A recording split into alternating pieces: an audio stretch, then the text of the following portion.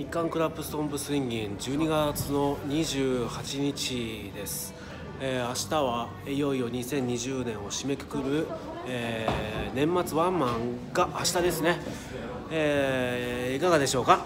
山下先生。いよいよ明日がやってきましたよ。29日。